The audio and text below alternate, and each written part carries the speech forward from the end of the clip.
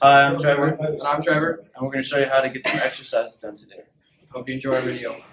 This exercise is called the inverted leg press. It Exercises the glutes, hamstrings, and quadriceps.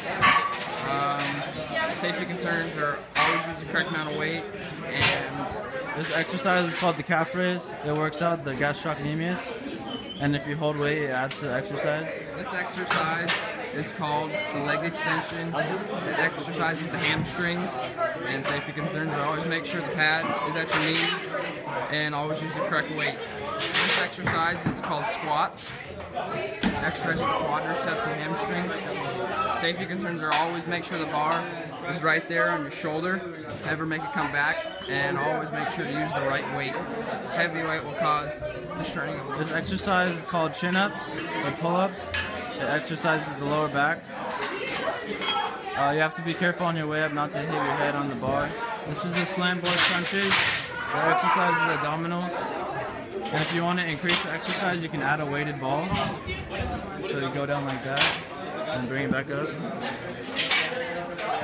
And bring it over here and up. This is the bicep curl. Uh, exercises the biceps. Always make sure to use your comfortable weight so you don't hurt yourself. The lat pull down, it exercises latissimus dorsi. And you just want to pull down. Make sure you use a comfortable weight so you don't want to hurt yourself. Called the military press. It exercises the deltoids. To perform it, you just lift your arms up and then bring them back down. And be careful with the weights. Bench press. It exercises mo- mostly, mostly the tricep. This is how you perform it. It's basically the same as the bench press except your hands are closer together. And the same safety. This is the bench press. It exercises the pectoral muscle. It's done by lifting the bar off the and slightly touching it to your chest.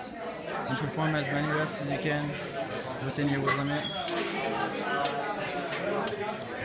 Always make sure to put on the collars when lifting. I go re